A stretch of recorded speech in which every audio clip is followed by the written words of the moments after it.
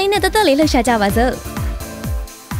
ဒီနေ့အန်လင်းနဲ့တက်တက်လေးလှူရှာကြပါစို့ဆိုရဲစီစဉ်လေးချက်မင်းသမီးလေးနဒါလီချွန်းရဲ့အားလေးရလှူရှာမှုပုံရိပ်တွေကိုတင်ပြရမှာပါကျမတို့စလိုက်ကြရအောင်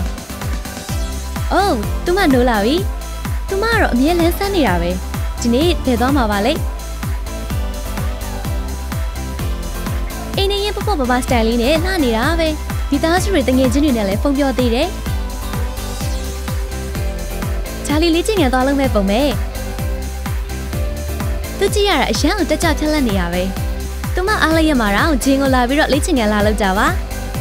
ဒါလီမမဟုတ်ပါဘူးကျမတို့အားလုံးအယိုးတွေတက်မှပြီးပုံမှန်လှရှာသွားလာနိုင်မှုအနည်းဆုံးတော့တစ်နေ့ကိုမိနစ်30လောက်ပုံမှန်လေးချင်းငယ်လုပ်ပေးဖို့အရေးကြီးပါတယ်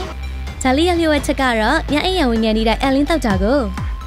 ညအိမ်ချင်းကခန္ဓာကိုယ်ကြက်လိုအပ်တဲ့အာဟာရတွေကိုပြန်လည်ဖြစ်ချင်နိုင်မှုအကောင်းဆုံးချိန်ချက်လို့ပေါ့။ Okay ဒါလီလည်းအချိန်ရောက်ပြီ။အားလုံးပဲ good night ပြန်ဆောင်ကြမယ်နော်။ညအိမ်ရဝင်ခဲ့နေတိုင်းအန်လင်းတောက်ပါ။